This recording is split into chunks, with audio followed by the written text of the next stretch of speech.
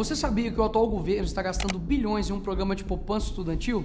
Excelente, né? Eles só não te contaram que estão deixando milhares de jovens fora.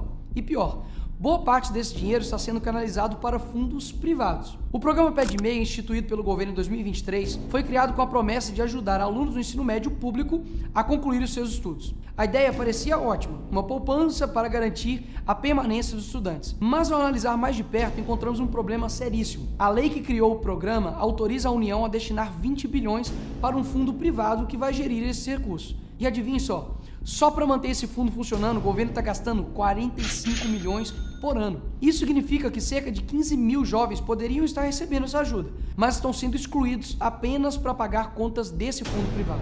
Porque outros programas maiores, como o Bolsa Família, não precisam de um fundo privado para funcionar. É dinheiro público desperdiçado. E a situação é ainda mais grave porque parte desse recurso veio do superávit deixado pelo governo Bolsonaro. Ou seja, o fundo privado está sendo financiado com dinheiro que deveria estar nas mãos dos nossos jovens. Eu não estou aqui para poder acabar com o programa Pé de Meia, pelo contrário, eu quero ampliá-lo e garantir que mais jovens tenham acesso a essa poupança. Por isso, apresentei dois projetos de lei para corrigir esses erros. O primeiro projeto vai eliminar a gestão por fundo privado, economizando milhões e permitindo que 15 mil jovens a mais sejam beneficiados todos os anos. O segundo projeto permite que todos os pais e empresas que têm estagiários e jovens aprendizes possam investir diretamente na educação desses alunos e deduzir o valor no seu imposto de renda. Isso vai incluir também os estudantes de escolas privadas que hoje não têm acesso ao programa, já que o governo quer pagar 45 milhões do seu dinheiro para fundos privados. Nós só não vamos impedir isso, como também vamos ajudar os pais e empresas a remeter o dinheiro diretamente para os estudantes,